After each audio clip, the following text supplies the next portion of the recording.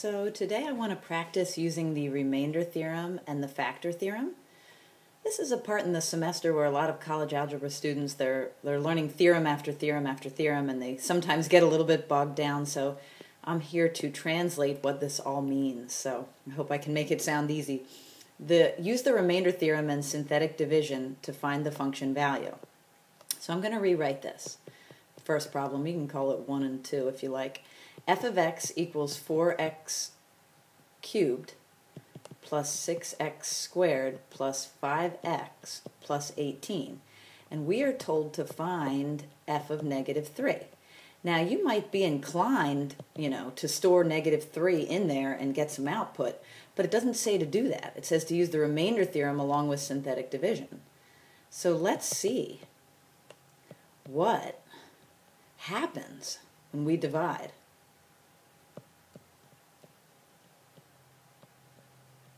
Using synthetic division.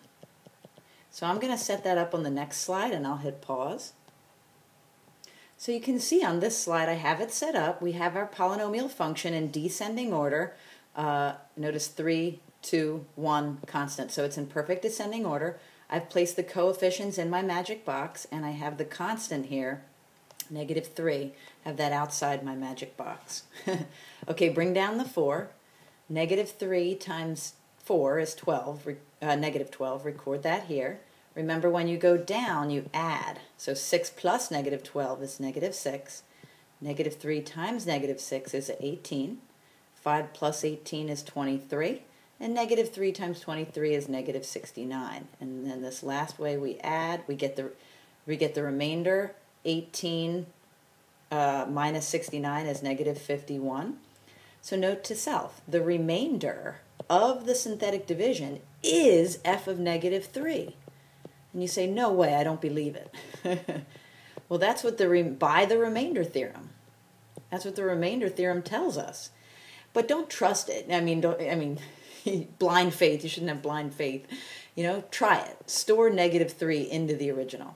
Is it, so note to self, is it true?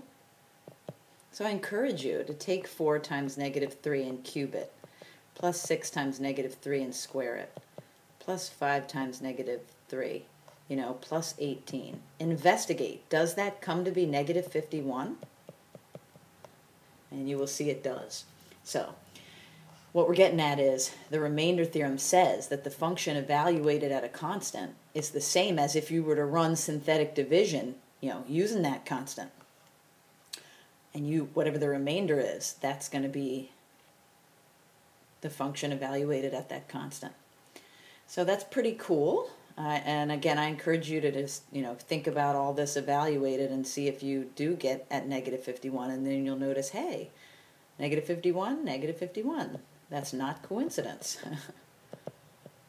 That's going to happen. All right, let's go back to previous slide. Problem number two, use the factor theorem to decide whether or not the second polynomial is a factor of the first. That's this polynomial here. So the question is, is x plus, uh, excuse me, x plus 2, is x plus 2,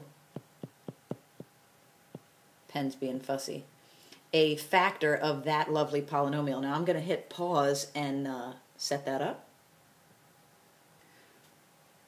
Okay, again, so I have that set up on this slide. Here's our polynomial, and we want to know, is x plus 2 a factor? Now, you may be inclined to, factor means divisor. Means, the, the, you know, the remainder would be 0. The remainder of longhand or synthetic division um, would be 0. Note to self would be 0. Well, you may be inclined to take x plus 2 and do longhand division and see if the remainder comes to be 0, but we weren't asked to do that. We were asked to use the factor theorem. so factor theorem basically says take p and evaluate it at a constant. Um, now, the thing is, the constant has to be where x minus, all these theorems hinge on x minus c um, being a divisor of the polynomial function. So here, you know, it's a little tricky because you have x plus 2, but x plus 2 could be rewritten as x minus negative 2. So your constant is actually negative 2. So that's a little trippy there. All these theorems hinge on x minus c as a as a divisor of the polynomial function. So if you have x plus 2, your constant is really negative 2 is what I'm getting at. So note to self, constant in this case is uh, is negative 2. C, your constant is negative 2.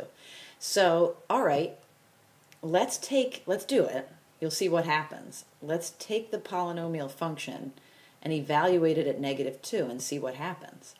Well, you're going to get 9 times negative 2 to the fourth plus 17 times negative 2 cubed, you know, minus 2 times negative 2 squared, you know, plus negative 2, and then um, plus 2. So anyhow, I encourage you to crunch all of this out, crunch it all out, and guess what? You're going to get 0. So what I'm getting at is p of negative 2 comes to be 0. And the factor theorem says that if the polynomial function evaluated at a constant comes to be 0, then you know that constant is a 0 of the polynomial, and you know that x minus the constant. So therefore, Therefore, x minus the constant, x minus negative 2, is a factor.